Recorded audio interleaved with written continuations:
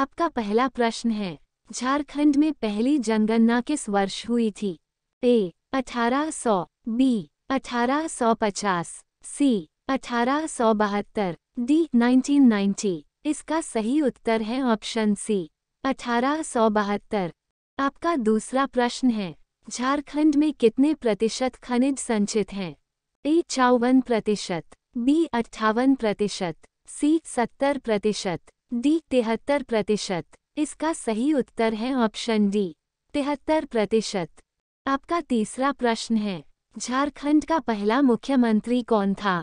A, Arjun Munda, B, Babulal Marandi, C, Madhu Koda, D, Shibu Soren. इसका सही उत्तर है option B, Babulal Marandi. आपका चौथा प्रश्न है, Jharkhand tourist home stay scheme की शुरुआत कब हुई थी? ए 2005 बी 2008 सी 2009 डी 2011 इसका सही उत्तर है ऑप्शन सी 2009 आपका पांचवा प्रश्न है, झारखंड में कितने ज़िले हैं? ए 20 बी 23 सी 24 डी 26 इसका सही उत्तर है ऑप्शन सी 24 आपका छठा प्रश्न है, झारखंड में कितने सदन हैं? ए वन बी दो सी तीन डी इनमें से कोई नहीं। इसका सही उत्तर है ऑप्शन ए।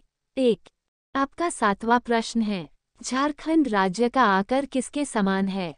ए, चतुर्भुज, बी, त्रिभुज, सी, आयताकार। डी, इनमें से कोई नहीं। इसका सही उत्तर है ऑप्शन ए, चतुर्भुज। आपका आठवां प्रश्न है, झारखंड राज्य का राजकीय पशु कौन सा है? ए, गाय, बी, गेंडा, सी, हाथी, डी, खरगोश। इसका सही उत्तर है ऑप्शन सी हाथी।